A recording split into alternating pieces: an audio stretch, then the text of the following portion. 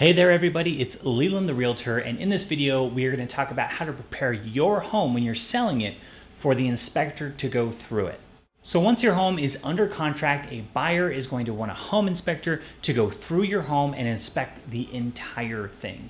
There are a handful of things that you really want to make sure you pay attention to and problems you want to solve before they even happen. One of the biggest items that I see are burnt out light bulbs. A lot of times the inspector goes, they take a look, oh, that light isn't working, and now in their report it says that that light's not working, and the buyer is wondering why, hey, why is this one not working when the rest are? Is the fixture bad? Is the light bulb bad? Is the wiring bad? Is the panel bad? Is the breaker bad? They don't know. So they are going to potentially get very scared of electrical issues, even if it's as simple as just a quick light bulb or a light change. So just make sure that all the light bulbs in your home are changed and working to make sure this doesn't happen to you. Now, the second big ticket item you want to worry about are your actual pets. It is really important to secure your pets, put them in a crate, or make sure that they are safe when the inspector is going through your home. They are going to go through everything in your home. They're going to go from the roof into the kitchen, check all the appliances, check the HVAC system, and so, so much more. So it's really important to make sure that your pets remain safe and of course the inspector themselves remain safe. So you do need to either crate or remove them from the home while the inspector is going through it.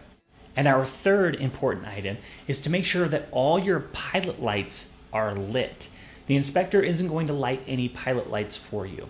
If in your fireplace or your water heater or your furnace, the pilot light isn't lit, all the inspector is going to do is try to fire up the device. And if they can't, they're going to say, well, it's not working right now.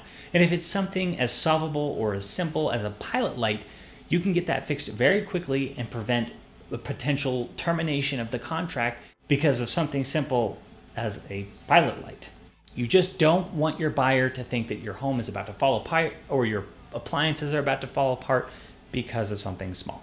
And our last item is, of course, make sure obstructions in the home are removed.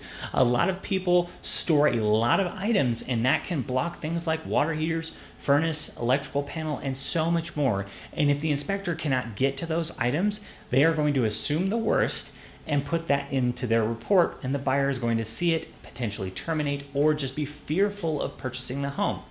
Do your best to make the buyer feel as safe as possible when purchasing your home and make sure when they request repairs that they are legitimate repairs that are going to be very easy to do because you prevented the inspector from seeing things that really aren't there because you were ready. You had the pilot light going, you had the light bulbs, everything's removed, and your pets were secured.